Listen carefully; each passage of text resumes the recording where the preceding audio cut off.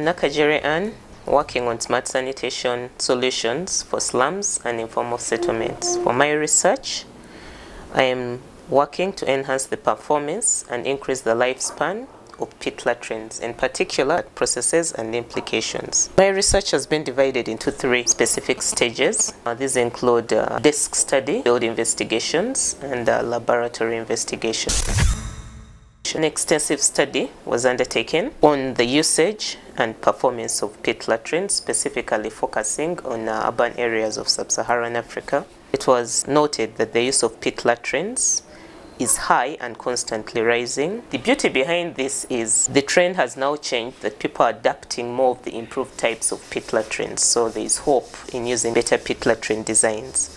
However, their performance in terms of filling, smell and insects is unsatisfactory. Contributions have been made to address these shortfalls. For instance, ventilated improved pit latrines, water seal, which is popular for pour flush latrines, then the use of additives, earthworm, black fly larvae, and all these have shown varying levels of success. From my review, it is critical that future advances to pit latrine designs should focus on scientifically guided approaches.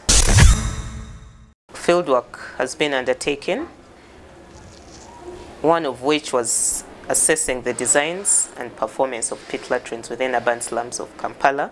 The data collected was analyzed and um, a manuscript produced, which has been published in Habitat International. Another aspect in the fieldwork was investigation of the use of IMOs, those are the indigenous microorganisms in pit latrines. Preliminary studies on use of IMOs were undertaken and the results that came out were good. People were happy with their pit latrines. At least smell was reduced in the pit latrines to which we tasted the IMOs. No? Another important aspect in the fieldwork is determining the environmental conditions in pit latrines currently in use within the slums.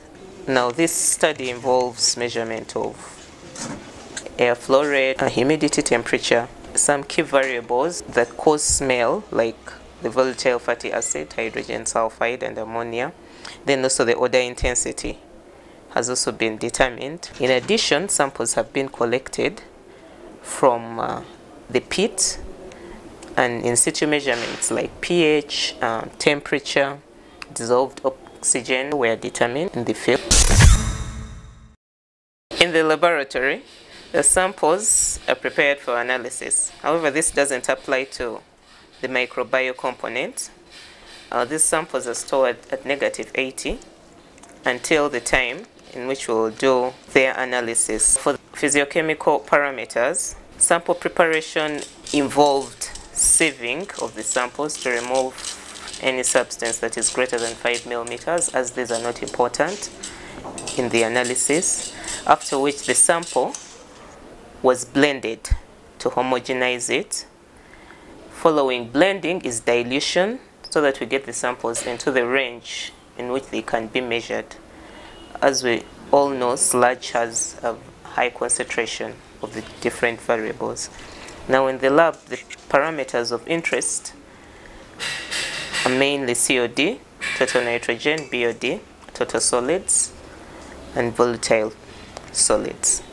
Following the analysis of these samples and once a clear understanding of the environment in the pit has been attained, plus the investigations on IMOs have been done, then the key factors that affect the composition will be determined.